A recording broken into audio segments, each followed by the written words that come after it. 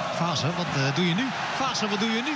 Je maakt er al een potje van in de eerste minuut. En nu is het ook uh, fataal. Want zo wordt het 2-1 PSV. En beleeft Fase hier een absoluut...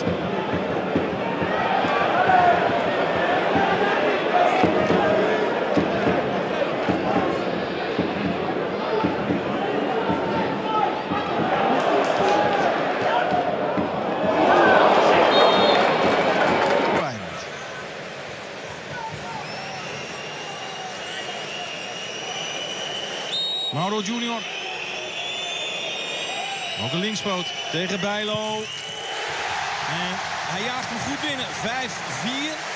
Het is voor het eerst dat PSV op voorsprong staat. Met veel links. Hoe met 10 man op gelijke hoogte te komen tegen PSV. Dan heb je nog wel. Ja, aanvallende opties zijn er voor uh, Stijn.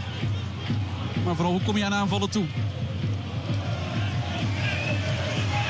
Locaria Legt dat bij de Jong. En daar is... Nee, niet het doelpunt. En Mauro Junior schiet hem erin.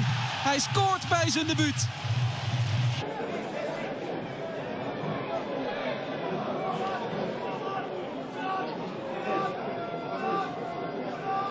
Bos.